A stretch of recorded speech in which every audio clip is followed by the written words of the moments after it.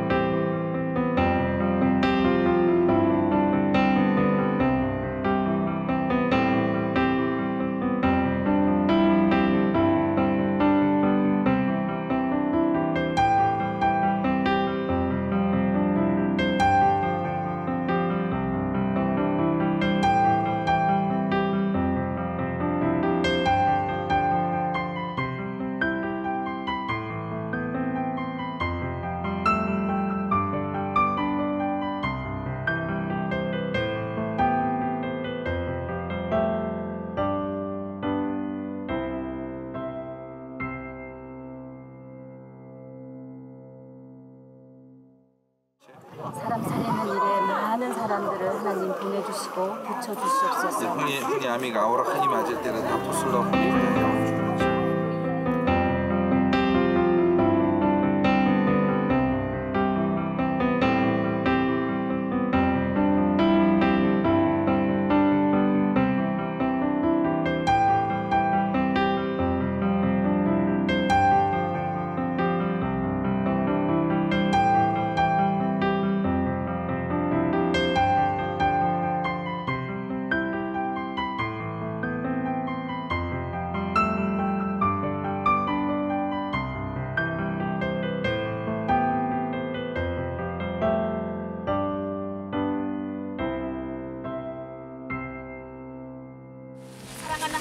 딸 렌댕 에르텐에게 성부와 성부와 아롱이츠 성자와 아롱 후 성령의 이름으로 아론 소스니니를 세례를 주노라. 바티즘 묵대죄나 아멘.